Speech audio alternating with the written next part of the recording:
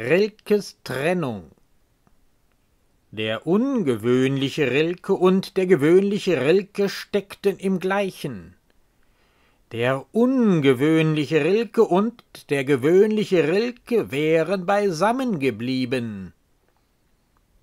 Der ungewöhnliche Rilke und der gewöhnliche Rilke würden sich trennen müssen. Der ungewöhnliche Rilke und der gewöhnliche Rilke wussten es beide.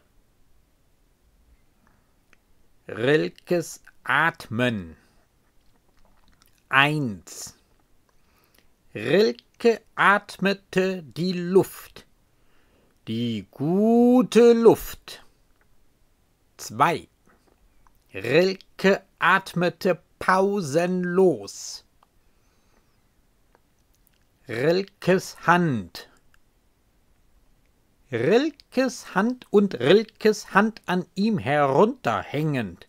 Rilkes Hand in Rilkes Hand, eine in der andern.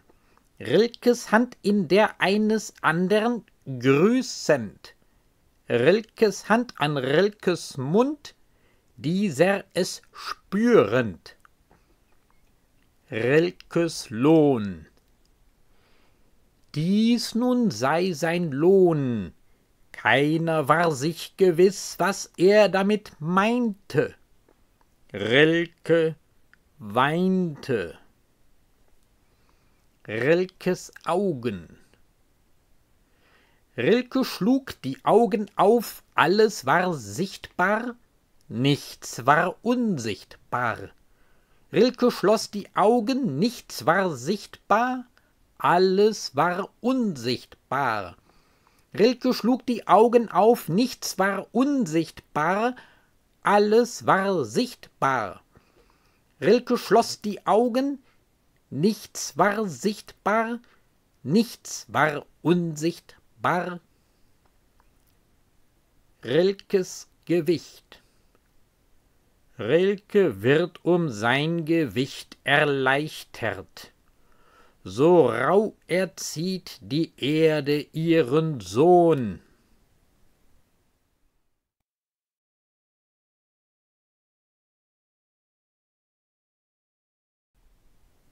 Der gewöhnliche Rilke mit gewöhnlichem Rilke, so lässt sich der Titel der 17 Gedichte verstehen, ist der Rilke gemeint, der so banale Sachen macht wie atmen, die Hände ineinanderlegen oder auch sterben. Der Witz an der Sache ist, dass solche Vorgänge Rilke selbst hymnisch überhöht besungen hat und Jandl sie wieder auf den Boden der Alltäglichkeit zurückholt. Ausgerechnet mit dem Sterben legt er los.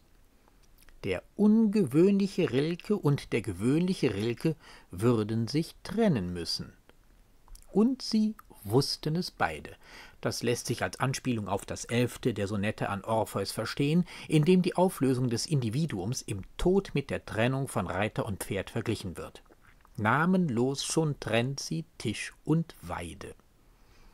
Rilkes Atmen Rilke atmete pausenlos. Selbstverständlich atmete er pausenlos, weil er wie jeder andere keine längere Pause überlebt hätte. Aber wie anders wird das Atmen bei Rilke in den Sonetten an Orpheus gewürdigt, wenn es dort als immerfort um das eigene Sein rein eingetauschter Weltraum gefeiert wird. In der zweiten Duineser Elegie besingt Rilke die Wahrnehmung der eigenen Existenz. Seht, mir geschieht's, dass meine Hände einander inne werden oder dass mein gebrautes Gesicht sich in ihnen schont. Das gibt mir ein wenig Empfindung. Bei Jandl wird daraus Rilkes Hand an Rilkes Mund, dieser es spürend. Rilkes Lohn für seine wuchtigen Verse ist laut Jandl keiner war sich gewiss, was er damit meinte. Rilke weinte. Das könnte sich beispielsweise auf folgende Verse aus der neunten Duineser Elegie beziehen. Erde, ist es nicht dies, was du willst, unsichtbar in uns erstehen? Ist es dein Traum nicht einmal unsichtbar zu sein? Was zum Teufel meint Rilke hiermit unsichtbar? Eine weitere Form der Existenz des Seins, weil wir es in uns zu etwas anderem verwandeln? Jandl ganz trocken dazu.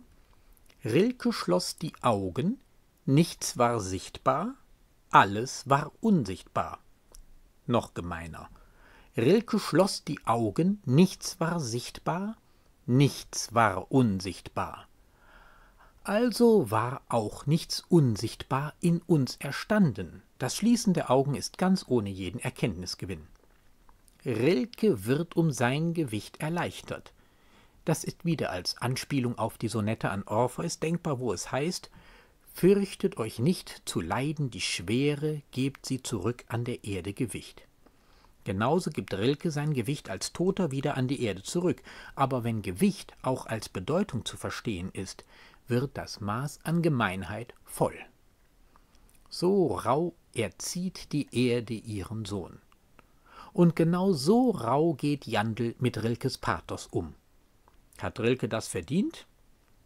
Immerhin widmet Jandl ihm eine ausführliche und kenntnisreiche Auseinandersetzung. Und vielleicht ist ihm auch ein Rilke-Bashing weniger wichtig als die eigene Positionierung als ein Anti-Rilke. Und wenn man schon nach einem absoluten Gegenpart zu Jandl suchen will, da wäre Rilke schon passend.